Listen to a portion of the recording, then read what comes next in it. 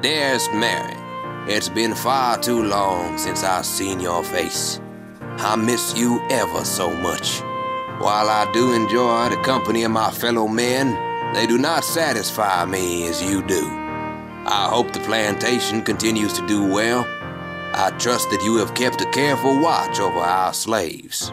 But in my absence, I fear you've been far too lenient with the whippings, a situation I shall rectify with my return. It has been a long and brutal winter. We're starving in bitter cold. Several of the men have lost their feet. Now we are just bitter cold.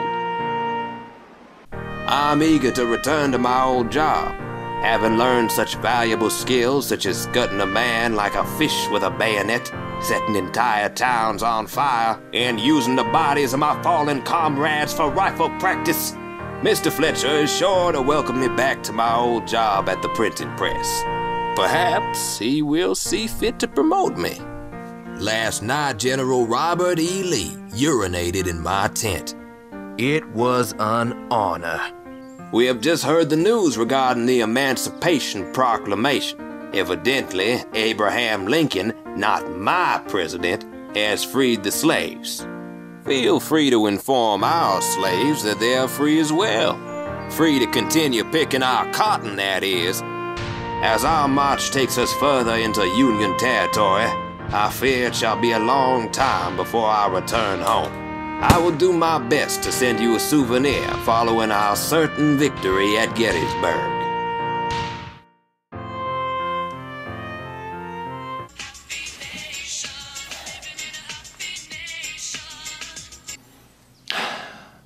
Hello, Mom.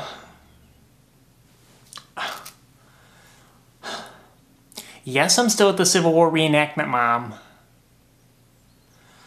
I'll be home in a couple of days.